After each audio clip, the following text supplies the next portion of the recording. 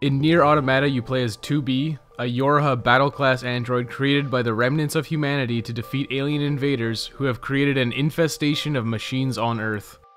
You're tasked with destroying the machines once and for all to stop a perpetual machine android war so humanity can return to Earth from their sanctuary on the moon. Nier Automata starts with maybe one of the best introduction sequences I've ever played. It showcases all the game mechanics in a very satisfying intro set piece and tutorial. The majority of the game is combat, either on the ground with weapons, in a flight suit in classic shoot 'em up sections, or during hacking segments which take the form of a twin stick shooter. The ground combat has depth, but it's not required to go deep with it. A simple approach is actually more efficient than trying to be stylish. The majority of combat in Nier Automata is fighting hordes of enemies.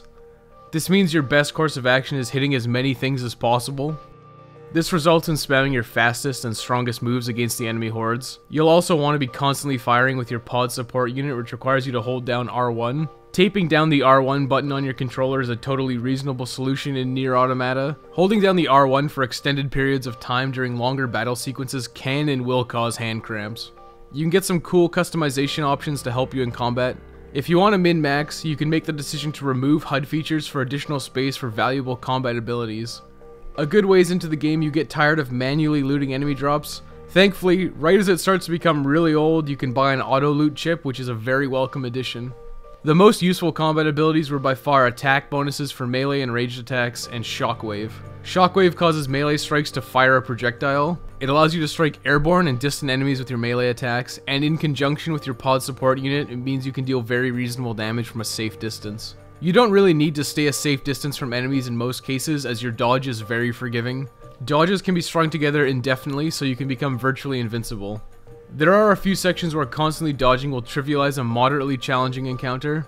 Most larger enemies will also attack slowly with a lot of telegraphing so it gives you ample time to dodge, and even if you fail, you can just dodge again immediately to avoid any incoming damage. There are a few weapon types in Nier Automata, swords, greatswords, spears, and fist weapons. I found 2B's starting swords, the Virtuous Contract and Virtuous Treaty were the best.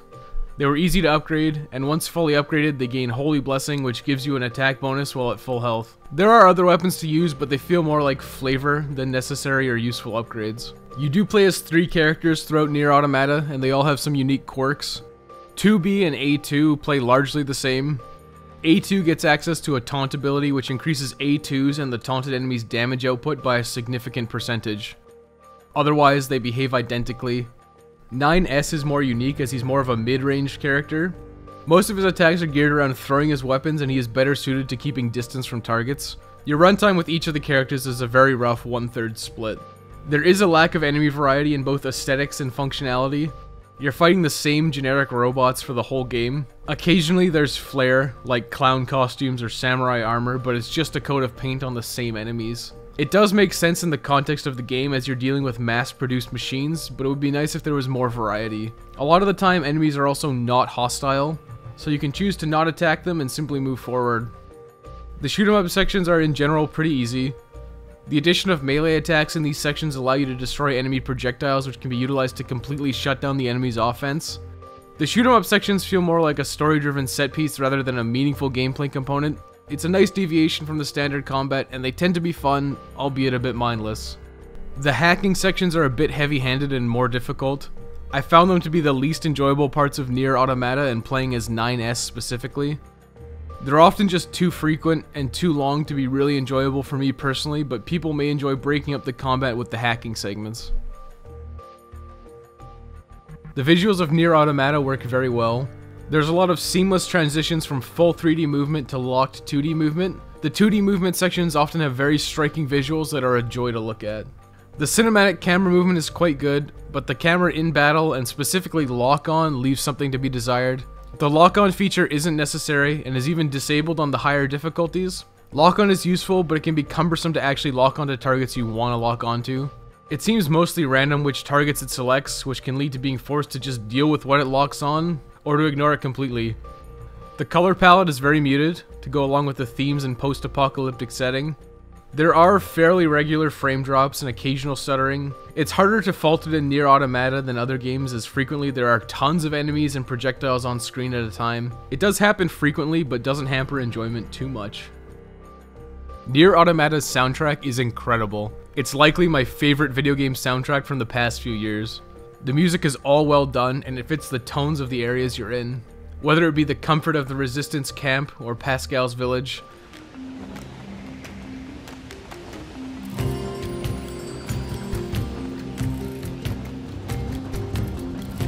the eerie apprehensiveness when in the theme park area where the machines have given up fighting, What the? Well, this is weird. or even just the ambient music while running around the world.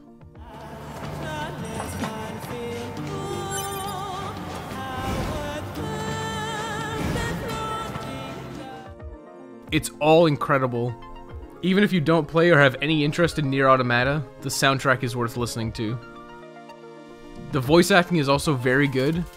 The actors do competent reading of the standard dialogue, but really shine during the more intense and emotional sequences and scenes.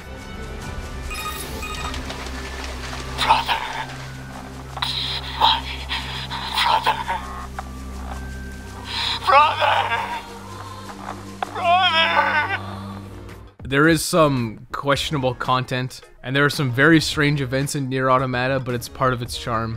The themes are very dark and grim, and frequently strange, but it works well overall. If you can't handle the oddities, or a very depressing game, you should probably avoid Nier Automata.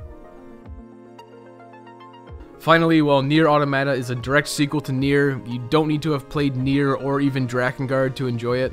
There are references and revelations you will get if you're familiar with the series, but it's not necessary to know them going into Nier Automata.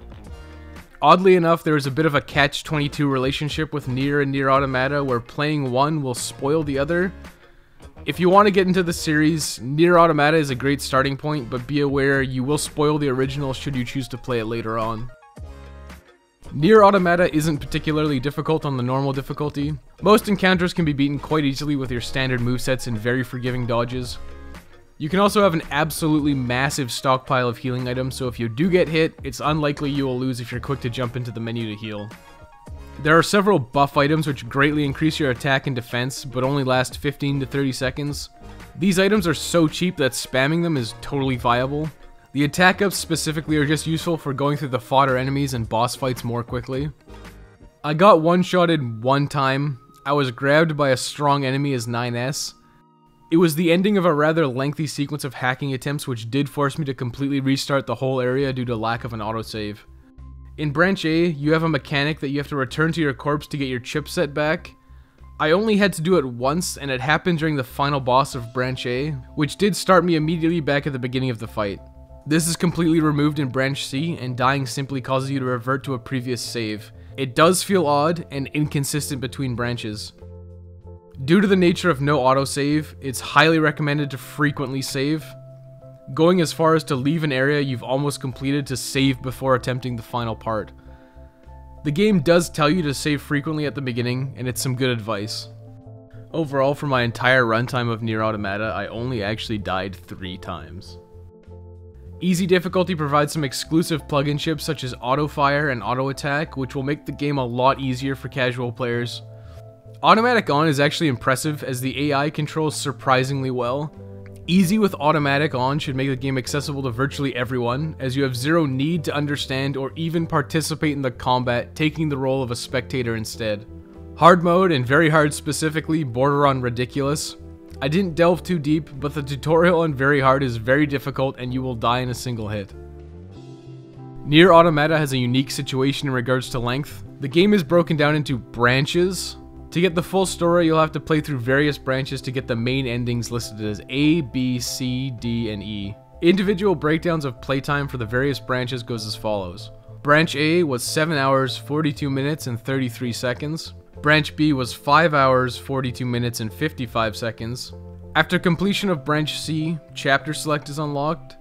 This is a nice feature for completing side quests and doing other optional content, as side quests are split about 80-20 in branches A and C. Chapter Select was used to skip to the final choice and get endings D and E very easily and quickly after completion of ending C. Branch C, D, and E total times were 7 hours, 25 minutes, and 19 seconds through use of Chapter Select.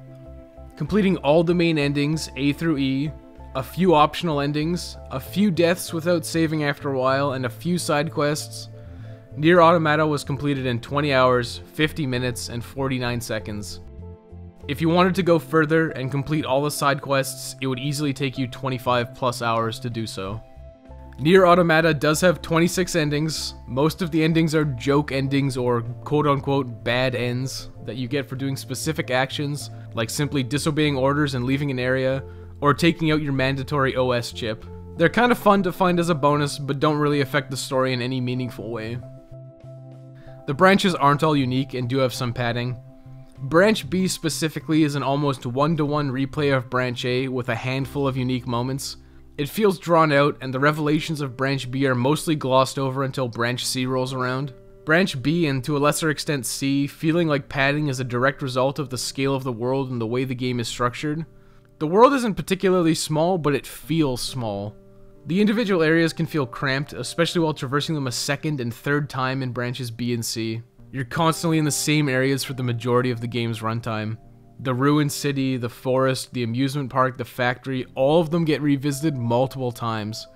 It's a bit unfortunate as the more you go to these same areas, the more you're left wanting something more. The world starts to become lifeless and boring after traversing these areas multiple times. There are a lot of side quests in Nier Automata which unfortunately and unsurprisingly often fall into fetch quest territory. Go to X area and get Y item is the majority of the side quests in Nier Automata. You have some ability to double dip and do the side quests while in the area for the main story, but frequently you'll have to return to previous areas to complete the side quests.